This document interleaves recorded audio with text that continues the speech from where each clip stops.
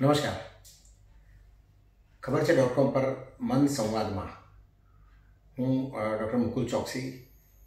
આજે કોરોના અને લોકડાઉન વિષય ઉપર શરૂ કરેલ શ્રેણીમાં માણસના મનમાં ઊભા થતા તણાવના એક વિલક્ષણ આસ્પેક્ટ ઉપર વાત કરવા માગું છું.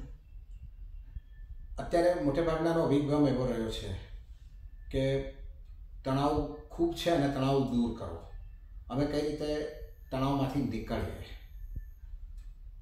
તો આપણે ડિફાઇન એ કરવાનું છે કે તણાવ અમુક હદ સુધી જરૂરી હોય છે અને અમુક હદ પછીનો તણાવ જ પેથોલોજીકલ હોય અને એને દૂર કરવો.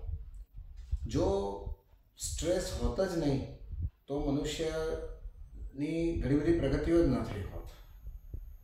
એટલે કે કંઈક માત્રામાં તણાવ જરૂરી છે. આજે બાળકો અમુક સ્ટ્રેસમાં હોય છે, તો એ લોકો પરીક્ષાની તૈયારી વધારે સારી કરી શકે છે. એ લોકો એકદમ રિલેક્સ થઈ જાય, તો તો હરવા ફરવાનું વધારે કરે અને એ લોકો સમય બગાડે છે.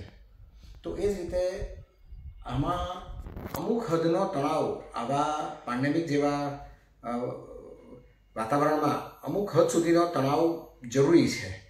આ એ તણાવ છે કે જે માણસને એલર્ટ રાખે છે. બીજું કે એને કામ કરવા માટે મોટિવેટ કરે છે. આજે હું જરાક સ્ટ્રેસમાં હોઈશ તો મારી અમુક એલર્ટનેસ વધશે. તો હું અમુક જે નેસેસરી પ્રિકોશન છે એ પ્રિકોશન લઈશ.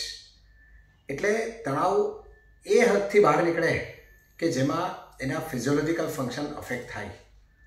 એ હદથી બહાર નીકળે કે જેમાં માણસ આખી રાત ઊંઘી ન શકે, પોતાનું કામ ન કરી શકે માણસ સતત ચોવીસ કલાક આ જ વિચારોમાં રહે.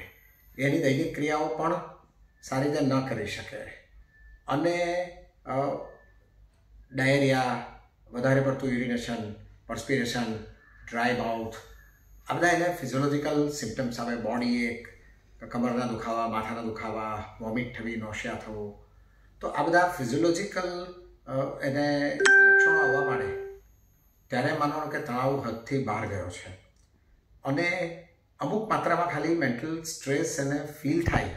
પણ એ જ્યાં સુધી પોતાનું કામ વ્યવસ્થિત રીતે કરી શકે, તો ત્યાં સુધી આપણે એના તણાવને દૂર કરવાની જરૂર નથી. એ તણાવ જ એને મોટિવેટ કરશે, એ તણાવ જ એને સક્રિય કરશે. પોતે આ પ્રકારની પરિસ્થિતિમાં ન મુકાઈ જાય. એને માટે એણે જે કંઈ કરવાનું છે, એ કરવા માટે એને પ્રવૃત્ત કરશે. તો મારો આજનો ઓનલાઈન મેસેજ એ છે કે તણાવ છે તો એમાંથી તાત્કાલિક ધોરણે નીકળી જવું શક્ય પણ નથી અને નીકળવું જરૂરી પણ નથી. Let there be some stress થોડીક સ્ટ્રેસ રહેવા દો. એક્સ્ટ્રીમ સ્ટ્રેસ જેને કે હદ બહારની ચિંતા. હદ બહારનો માનસિક તણાવ કે જે ઘણીવાર વ્યક્તિને આત્મહત્યા કરવા પ્રેરે છે અથવા એને એમ થાય કે આ નથી સહન થતું અને હવે હું ગુજરી જાઉં.